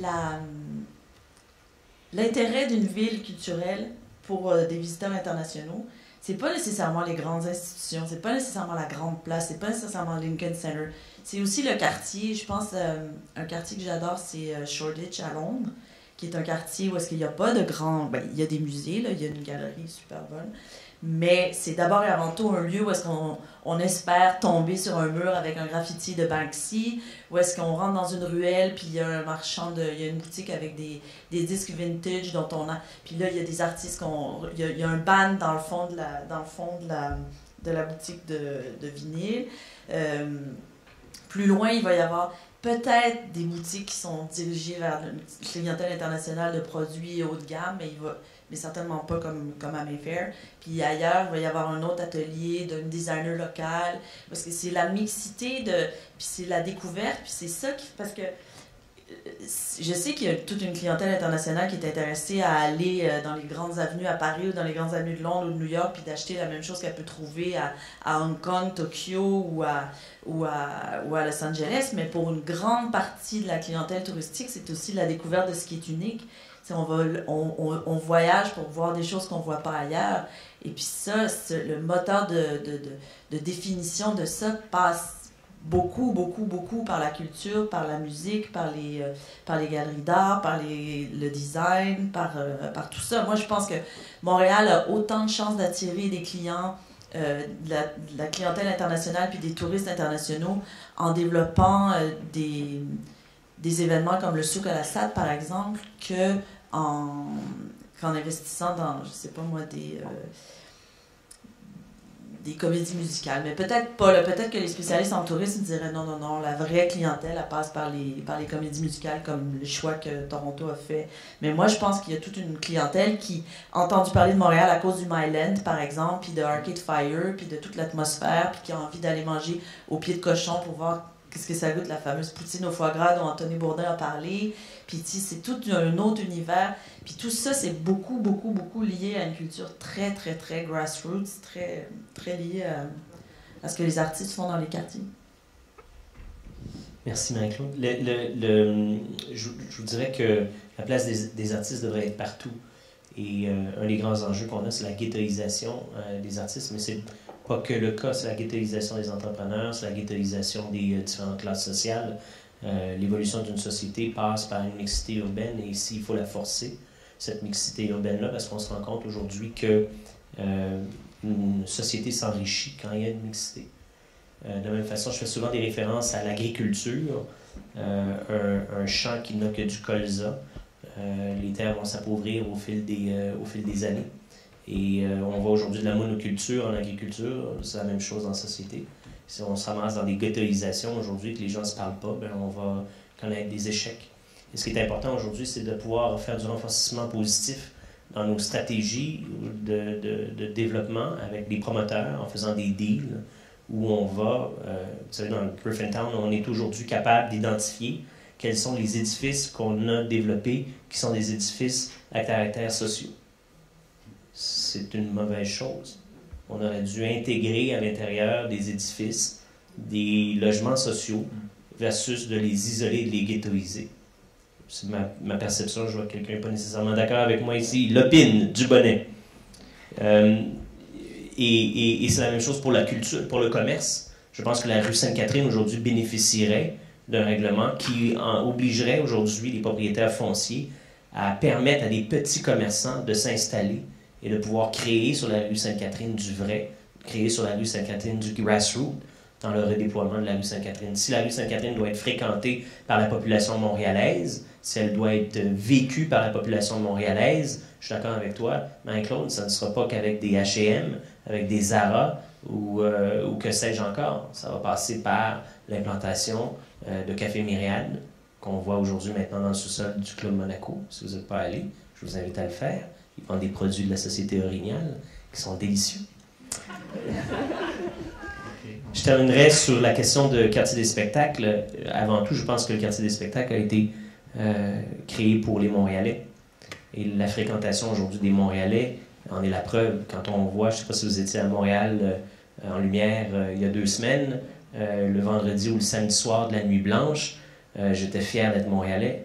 J'ai vu quelque chose là d'extraordinaire c'est ce genre d'ambiance-là qui est Montréal. Et quand on voit ce qui se passe avec le festival de jazz et autres, je pense qu'on on a créé quelque chose d'absolument fantastique. Et les Montréalais bénéficient de ça. Maintenant, ce qui est très important, puis je fais un petit parallèle, c'est de nous assurer que, parce qu'on parle de commerce, c'est de s'assurer qu'on fasse bien attention avec la gratuité en culture, parce que la gratuité en culture est un, a un effet très pervers. Et aujourd'hui, ce qui est important pour nous, c'est de pouvoir s'approprier une partie importante du portefeuille culturel dépensé par les Montréalais, s'approprier pour la culture développée à Montréal, une partie de ce portefeuille-là. Il faut s'assurer qu'on ne cannibalise pas tous les efforts des différentes institutions culturelles parce que, je répète, dans des aires d'austérité, le développement des revenus autonomes est le nerf de la guerre pour euh, la survie même de nos institutions culturelles. Ça pose un peu la question un peu de l'architecture dans laquelle s'est logée la vie culturelle d'une ville. Quand on, met on a des infrastructures lourdes, on peut s'en payer, on est so New York est capable de se payer un certain nombre d'équipements. Ils ont le Nilkin Center, qui est quand même une création dans un quartier populaire qui a été rasé pour le faire. Ça a créé du plus, mais ils sont capables de se payer ça. nous, peut-être qu'on a un équilibre entre le, le, heavy duty et puis l'organique, qu'il faut être. C'est intéressant d'avoir cette notion d'une économie urbaine qui soit un peu plus euh, consciente de la culture, de ces, oui, mais je suis, tellement, je suis totalement d'accord avec ce qu'Alexandre disait tout à l'heure qu'on n'a pas besoin d'investir dans des énormes infrastructures. On peut prendre celles qu'on a, mais seulement les rendre un peu plus jazzy. La maison de la culture de, de mon quartier, euh, Notre-Dame-de-Grâce, c'est un, peu, euh, c'est un peu sec. C'est. Euh, ben, il y a beaucoup d'écoles qui ont des problèmes d'humidité. Non, mais c'est. Il y a la bibliothèque, il y a l'espace pour. Avec, il y a des super expos avec des super artistes, mais il n'y a, rien d'autre. Il n'y a, pas de, y a pas de café, il n'y a, pas de, a pas de place pour prendre une mm. bière. Il y a quand même un, côté un peu, euh, un peu sec, c'est quoi je veux dire, un peu austère, dry, comme dans, les, dans le concept américain. Comme dans Verdun dans le temps. Oui, exactement. Exactement. je pense que moi, je suis. Je sais pas si vous êtes au courant, mais je suis quand même plutôt pour la cuisine de rue. Et puis, euh, je, je, trouve qu'il faut, non mais il faut augmenter, il faut pousser là-dessus, puis il faut le faire éclater. Euh, dans ce qu'on voit beaucoup euh, à Bryant Park, par exemple, à, à New York, il y a les, projections de projection de films en pleine, de films d'auteur en pleine ville, c'est super cool, mais il y a aussi la possibilité de prendre, de prendre une bière, il y a aussi des cafés où est-ce qu'ils vendent du cappuccino, des espèces d'installations spontanées, je l'ai vu en Scandinavie beaucoup, on, on, combine les usages, on a en même temps une exposition photo en plein air avec des, euh, des bars euh, qui ouvrent seulement pour la belle saison sur le bord de l'eau, puis qu'on range l'hiver dans des conteneurs. Euh, c'est pas coincé, là, c'est pas... Moi, je, je sais ça aussi, vous êtes peut-être au courant, je trouve assez hallucinant qu'on fasse rien avec le, le chalet du Mont-Royal. Je trouve que ça devrait être un pôle culturel. Il devrait y avoir des super expositions d'artistes, la possibilité de prendre un verre, la possibilité de manger quelque chose qui a de l'allure, qui ne sort pas d'une machine distributrice. Le tout avec une vue extraordinaire. C'est, c'est dément qu'on n'a jamais qu'on ait rien fait. Bon, voilà. Bon, allez, on s'est- c'est dit, d'accord, ok, next. Juste pour. euh, Guy, le, le chien du Mont-Royal, là. Ben, J'approuve, non, non, Bon. D'accord. Premier consensus synergétique. Euh, tu voulais ajouter un peu là-dessus? Non, ça va. Enfin, euh, non, mais c'est cette. euh, Enfin, la question du chalet du Mont-Royal, c'est intéressant. Parce que comment est-ce qu'on implante une vie de commerce viable là? Au- dans les années 30, le problème s'était posé. Qu'est-ce qu'ils proposaient? Brancher un ascenseur sur le tunnel de chemin de fer qui passe en dessous. Et je pense qu'on se rend compte assez vite que le génie de cet endroit est peut-être plus serein. Il faut trouver une économie plus sereine que de faire un, de mettre Sainte-Catherine, Jeanne-Mance là-dedans. Peut-être qu'on va rater quelque chose. En tous les cas, j'aime autant vous dire qu'il y a un consensus à la table de concertation du Mont-Royal qui ne va pas nécessairement dans ce sens-là. mais qui veut, comme Sylvie, rendre cet endroit vivant, mais à la hauteur de ce qu'il est capable d'offrir. Tu sais, sa vue est splendide, mais ça ne peut pas devenir un, un endroit qui va requérir tellement d'infrastructures de transport que les sandwichs vont être à 75 piastres, tu sais. Parce que là, c'est difficile d'en faire un lieu collectif. tu sais. Et par rapport à ce que tu disais, euh, Alexandre, commerce, culture, conversation au pluriel, j'ai noté, j'ajouterais un autre qui serait peut-être la citoyenneté. Tu sais, tout- derrière tout ça, il y a une notion de citoyenneté un peu culturelle et urbaine. Je ne sais pas comment est-ce que... Est-ce que les recherches nous, nous éclairent sur cette notion-là, monsieur? Et je tiens peut-être sur la notion de grassroots, je pense qu'on on a une convergence parce que nous, le terme qu'on a employé, c'est le terme authenticité. Grassroots, peut-être qu'on est dans la même zone de, de valeur. Peut-être pas le, le truc direct parce qu'on est moins euh, jardinier, qu'est-ce que tu veux, on habite en ville, nous autres. Mais euh, le gazon, c'est un équipement municipal ici. D'ailleurs, ils veulent l'artificialiser un peu partout, là, pour faire du soccer, du baseball dessus. Ben, on pourrait parler de, street level culture hein, aussi, qui est un peu l'équivalent de grassroots. Oui, il y, a, il y a un courant euh, assez fort pour s'intéresser, de, de plus en plus lorsqu'on parle de culture en, en études urbaines, c'est de, de cette, de cette culture du niveau de la, de la rue, bon, finalement, qui, plutôt que, que la culture institutionnelle, celle de, la place de Mm. Terre, tout ça. Euh, bon, moi, je suis pas, euh, je vais pas faire, euh, je ne ferai pas euh, si une rupture, n'y aura pas une rupture si entre les deux, entre les deux trucs, mais en même temps, le street, en fait, le street level culture est aussi susceptible d'être récupéré, d'être, ah oui, récupéré, d'être, euh, euh, de devenir un élément de, purement euh, artificiel, de, vente, de, promotion d'un espace, etc. En même temps, bon, c'est pas, c'est pas non plus. euh, Ben, le risque avec la, commercialisation, puis Alexandre, peut-être tu peux nous éclairer, c'est la durée de vie d'un produit commercial par rapport à un, actif culturel, authentique. Je ne sais pas, la largeur des cravates, visiblement, c'est pas ton problème, là. Mais la largeur des cravates ou les motifs changent tellement vite, c'est une durée de vie très courte d'un produit. On est plutôt dans la culture du radis par rapport à la culture du pommier ou de l'olivier, qui s'inscrit dans un autre cycle. Il me semble que le radis, moi j'adore le radis, je, je- je me dévoile ici, mais je trouve qu'une ville se bâtit plus avec les vergers, les pommiers, finalement, et l'architecture du territoire. tu sais. Et Comment est-ce que ces cycles-là? Puis après ça, on aura peut-être une question de notre vénéré public. Dis-nous, je vais faire un. Micro. Je vais, utiliser, je vais utiliser ce que tu dis. En fait, on- j'ai parlé tout à l'heure de, de, de, de- de lien avec, euh, avec euh, l'agriculture. Tu, tu y sautes de tes joints en parlant de tes radis et tes vergers. J'apprécie. Euh, en fait, il faut voir euh, euh, des jachères. Et il faut voir aujourd'hui que tout le monde est à la recherche de la vérité, de l'authenticité, et l'authenticité se renouvelle constamment. Alors, euh, et, et- et c'est probablement le propre à des quartiers euh, de naître, de grandir, de mourir euh, et de renaître. Et probablement qu'on n'y peut rien. Euh, et on va toujours voir ça dans l'histoire euh, de l'humanité. On a vu ça constamment et on va continuer à le voir. Alors les gens se déplacent parce que la vérité se trouve ailleurs. Et euh, l'authenticité se trouve ailleurs. À un moment donné, quand il y a une gentrification, l'authenticité disparaît. Et à un moment donné, ils vont aller gentrifier l'endroit authentique, ils vont retourner. maintenant, quand on il parlait d'ailleurs de nostalgie du village urbain. Tout à fait. Alors, je, je, je, termine là-dessus. Je, pense que fondamentalement, on se rend compte aujourd'hui d'un élément, je reviens sur l'aspect économique, on se rend compte aujourd'hui qu'on a euh, créé en fait un, un, appauvrissement considérable de notre population à cause euh, euh de, du manque d'authenticité. Euh, et je fais référence aujourd'hui, par exemple, à la Walmartisation, à Amazon, euh, euh, qui se sont installés en banlieue, donc l'exode rural. Et les gens reviennent à l'authenticité, reviennent également à des valeurs où on va soutenir notre localité par les achats que nous ferons culturels, par les achats que nous ferons commerciaux à des gens qui sont authentiques, des artisans et des artistes.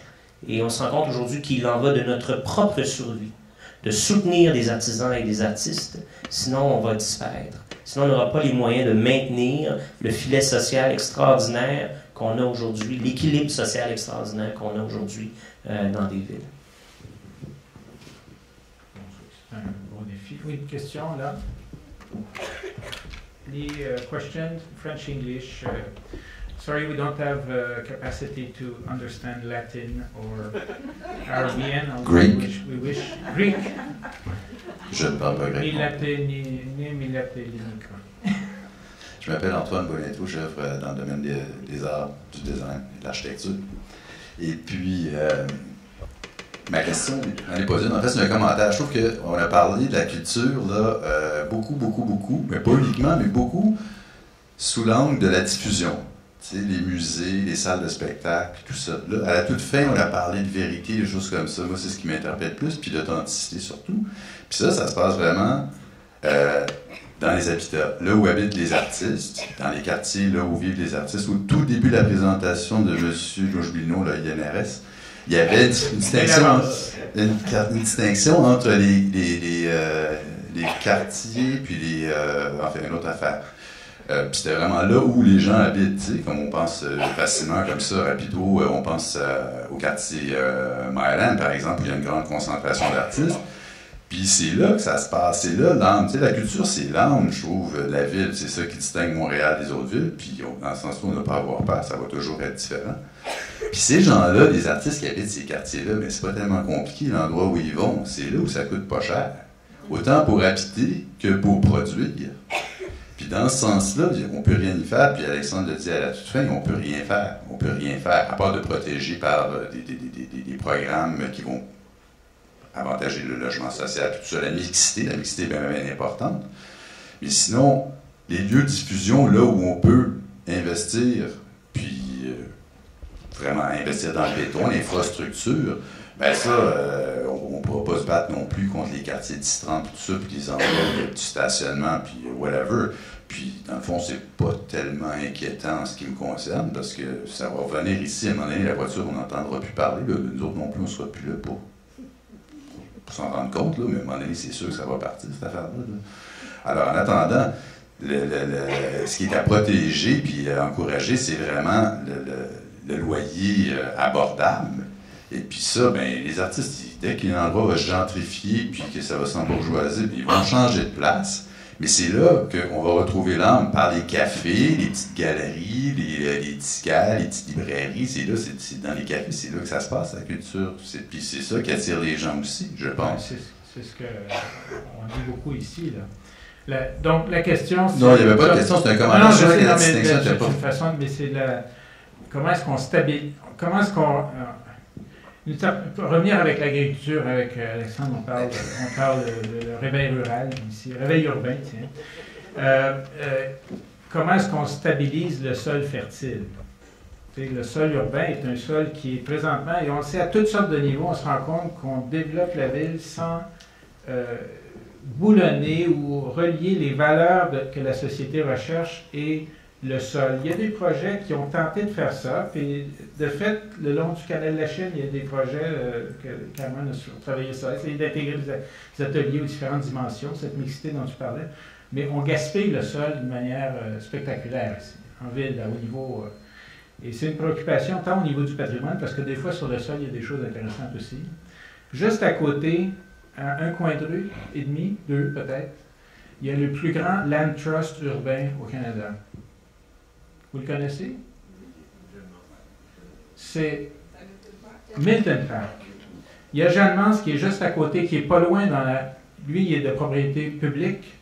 Milton Park de propriété coopérative. Ça a été fait il y a 50 ans, il y a 35 ans. On a, on a planté des vergers d'un nouveau genre. Mais on les a plantés uniquement pour le résidentiel. Puis c'est là peut-être qu'il y a des leçons. Comment est-ce qu'on fait des quartiers qui sont stables. Peut-être qu'on a des Milton Park avec de la mixité, pas juste sociale, mais aussi fonctionnelle. Oui, parce que moi, j'aimerais entendre Alexandre là-dessus. Moi, je suis inquiète pour le Myland, avec toutes les transformations dans les. Dans ben oui, avec le changement, maintenant, c'est le kilomètre fin. ah. Mais, euh, excellent jeu de mots. Euh, non, mais je suis inquiète sur le, à cause de, de tous les immeubles sont dont la vocation est en train de changer complètement. Le processus, on est, on, est on est dans quelque chose de fragile, non? Alexandre, toi, futur maire?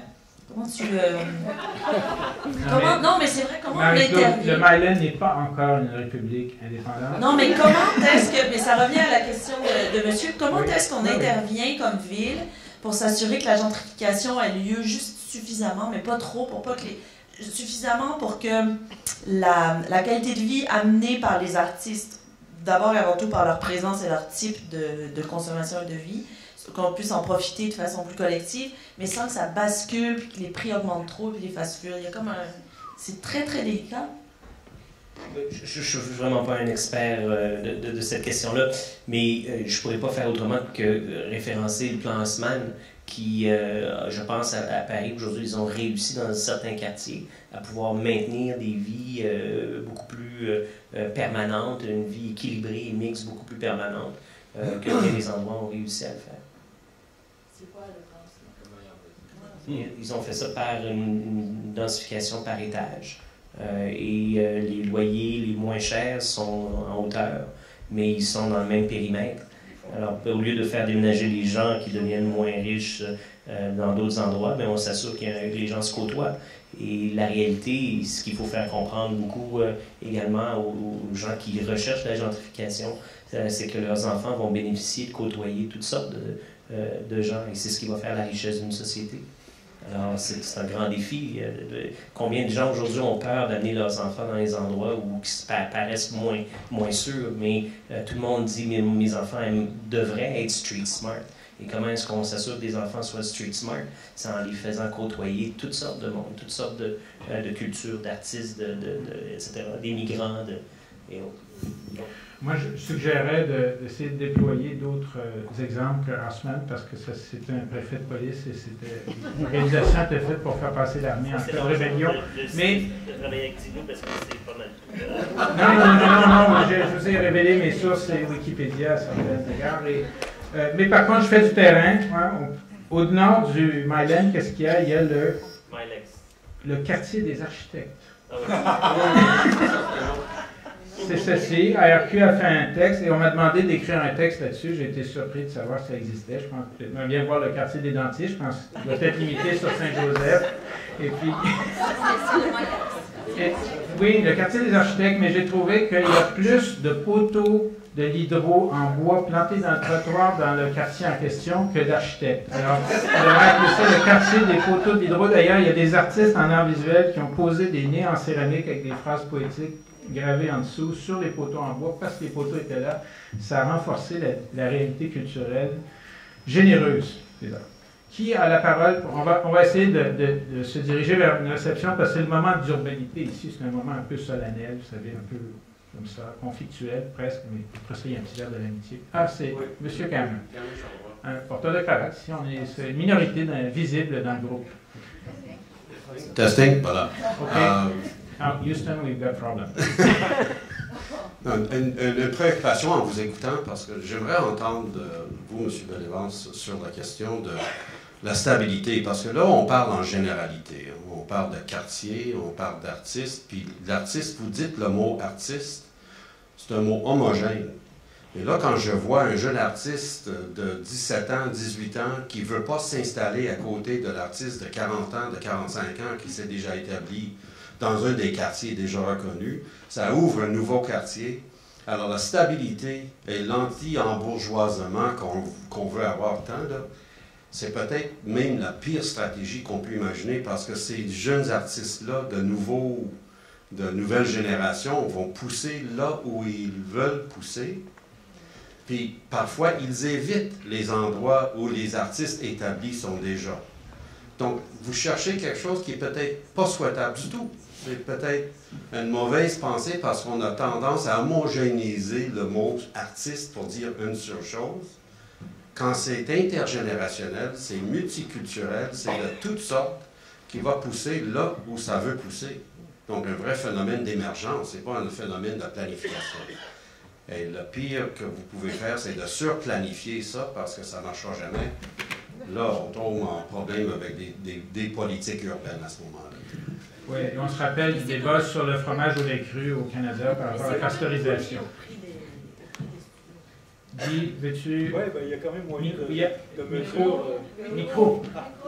Voilà, le micro est à la table, mais pas à la personne. Je ne suis pas non plus un spécialiste de, des mesures d'urbanisme en relation à la, gentrification spécifiquement, mais il y a des mesures d'acupuncture peut-être urbaine, des médecines douces qu'on peut appliquer dans ces cas-là. Il ne s'agit pas de, de, faire de la surplanification, comme vous le dites, je suis sûr que ça ne marchera pas non plus. Euh, je connais aussi assez bien le milieu des, artistes pour savoir que c'est pas euh, en leur disant où aller qu'ils vont y aller. Euh, c'est pas du tout ça de toute façon qui est attendu. Euh, mais il, il, reste quand même dans ces phénomènes de, de, de, de gentrification, c'est un terme un peu piégé, mais de revitalisation, disons, des, des, des centres, des anciens quartiers centraux à Montréal. Euh, des enjeux de mixité qui ont été soulevés, c'est-à-dire qu'il y a des zones qui étaient industrielles euh, et euh, résidentielles qui sont en train de devenir strictement résidentielles. C'est ce qui arrive dans le Myland dans le Milex en haut. Là. Bon, c'est ça, c'était un lieu que, je connais bien qui était extrêmement intéressant en termes d'espace.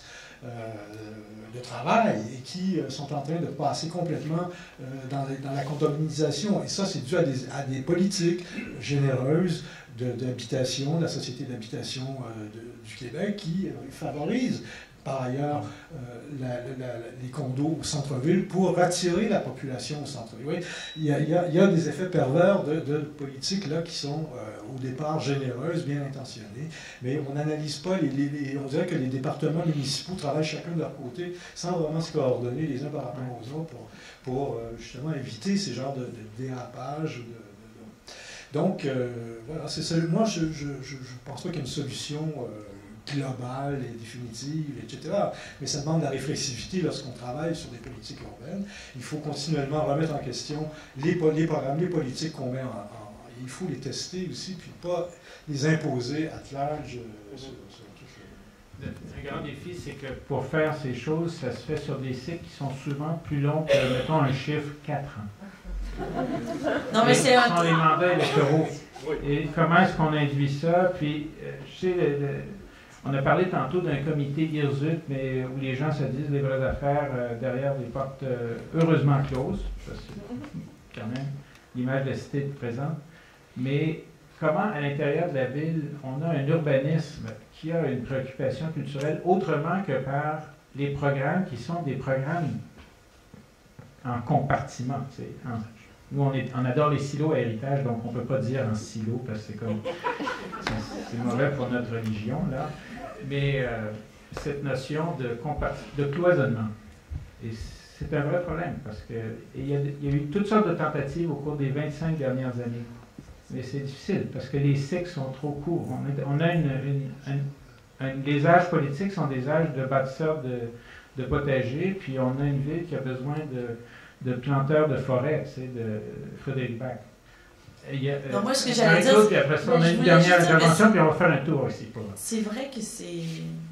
c'est très éphémère. Ben, c'est pas éphémère, mais c'est très. euh, c'est une réalité qui nous glisse entre les mains dès qu'on pense avoir compris. Moi, j'ai vu un reportage euh, il y a un an, je pense, je crois que c'était en Californie, des centres commerciaux, les fameux Power Centers, là, qui abritent les, les Walmart de ce monde, qui sont dans un cycle tellement rapide de, de, de- qu'ils sont maintenant réinvestis par des artistes. Donc, les artistes s'installent dans des lieux, euh, dans des Walmart vides. Peut-être que le 10-30, c'est le pro- prochain lieu de, de création. Incroyable.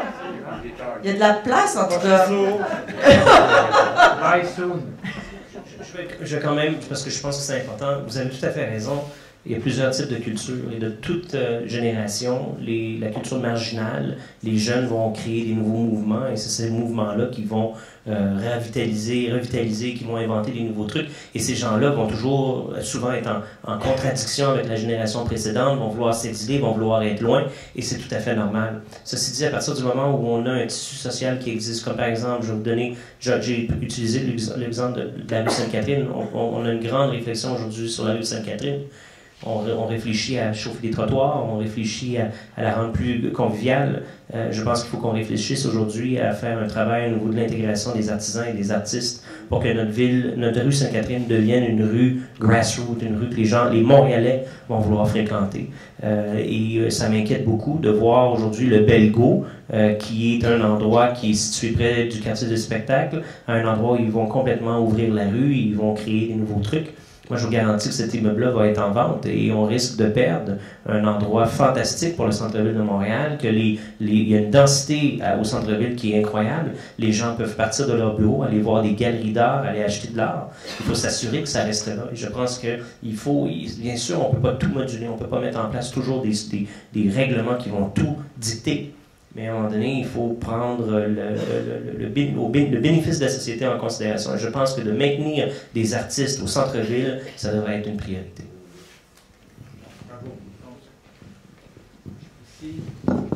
Oui, bonjour. Je vais euh, faire ça rapidement parce que je pense qu'on on attend une, euh, une petite réception après. Peut-être que tout le monde est impatient. Euh, je m'appelle Anne Bertrand. Je suis la directrice de la Conférence des collectifs et des centres d'artistes autogérés. Euh, C'est une association pan-nationale qui regroupe plusieurs associations provinciales, régionales et identitaires de centres d'artistes autogérés.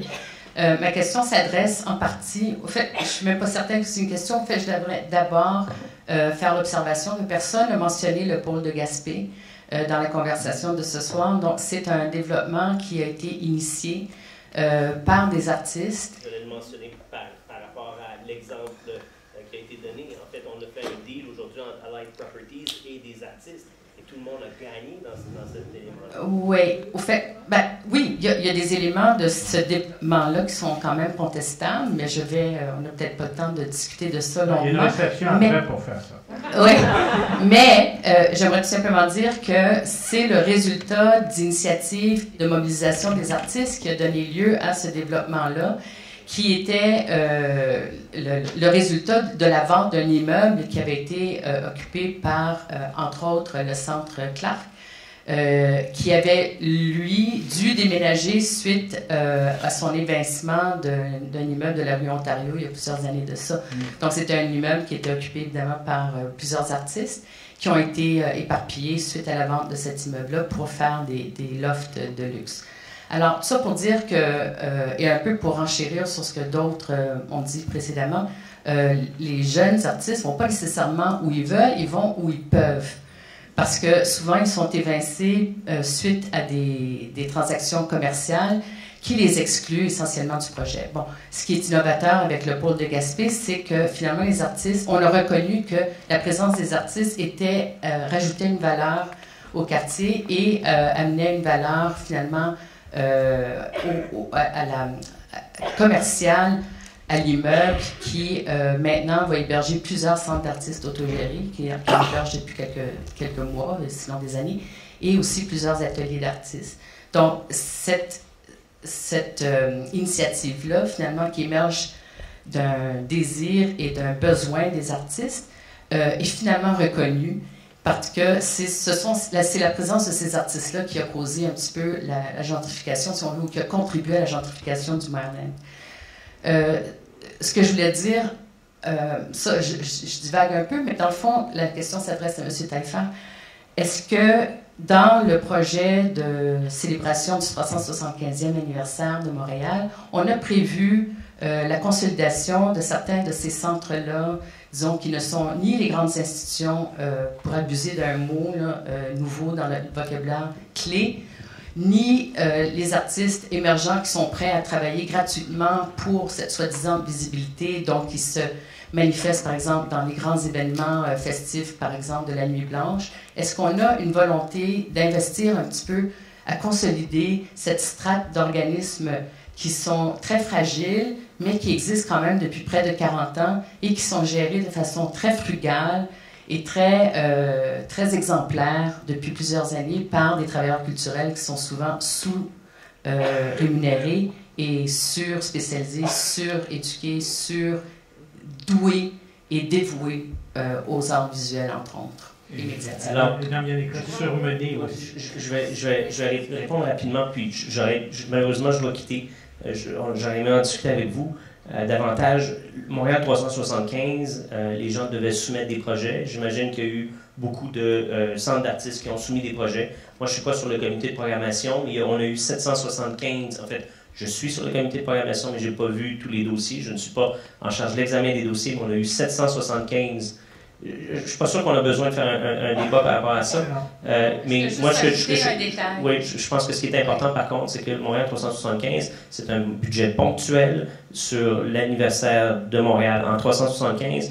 Et ce dont on a besoin pour les centres d'artistes, c'est des solutions à beaucoup plus long terme. Il faut être en mesure de pouvoir euh, trouver des solutions de financement à beaucoup plus long terme. C'est pas Montréal 375 qui va réussir à sauver cette situation-là. Voilà. Madame, je, je, je, suis pas en charge de la distribution du budget et ça va se faire en fonction des quartiers culturels. Donc, il y a une volonté importante au niveau de la, du développement des quartiers culturels. Ça ne se concentrera pas euh, uniquement au centre-ville de Montréal ou dans d'autres pôles. On veut s'assurer que ce soit tous les Montréalais qui fêtent dans tous les quartiers et nous avons sollicité tous les Montréalais à nous déposer des projets. Il y aura des fêtes dans les ruelles, il y aura des fêtes dans les quartiers, il y aura des centres d'artistes qui vont participer à ça, je vous le garantis. Peut-être un petit mot avant de terminer. Marie-Claude, Guy. C'est bon? Merci. Je peux peut-être mentionner sur la question du Belgo. Nous, à l'époque, quand ils ont, est arrivé le, le, projet d'installer la grande bibliothèque à côté de la place des Arts, et un gros projet du gouvernement, on est intervenu en suggérant le modèle de Milton Park. Comment ça se fait qu'on n'a pas Take the Land et créé une ONG pour accaparer des, des baux sur 50 ans. Le modèle d'Alain est arrivé heureusement à De Gaspé, mais il aurait pu fonctionner au centre-ville si les secteurs culturels étaient plus habitués à travailler avec le ministère des Affaires municipales, avec les municipalités l'habitation, avec le secteur de développement économique, que uniquement dans une relation bilatérale ministère de la Culture. Et ça, on a un, un défi d'urbanité à faire. La ville, ce n'est pas le zonage de ghettoisation dont il a été question, c'est aussi parce qu'on n'a pas intégré la charte de la ville de Montréal. Tout le monde devrait connaître ça, pas juste les urbanistes et les avocats. Euh, et elle devrait être aussi une charte culturelle. Alors, il y a des choses là-dedans qui méritent de poser la question comment la société urbaine euh, s'intéresse à ses artistes, s'intéresse à la dimension culturelle de son espace public et s'intéresse aussi un peu à travers ça à l'avenir de sa société vivante, parce que c'est pas juste dans les archives qu'on va retrouver cette création, dans les rapports de 2015. Et euh, là-dessus, moi, j'aimerais vous inviter à un petit verre à la sortie, mais remercier nos trois euh, conférenciers.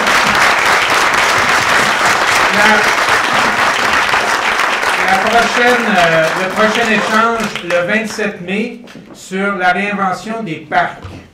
Alors, vous verrez, il y a peut-être de la place pour les artistes là-dedans, et pas juste au niveau d'un objet qu'on dépose dans un parc avec un nouveau design, mais la nouvelle pensée sur ces espaces-là. C'est une belle occasion. Merci.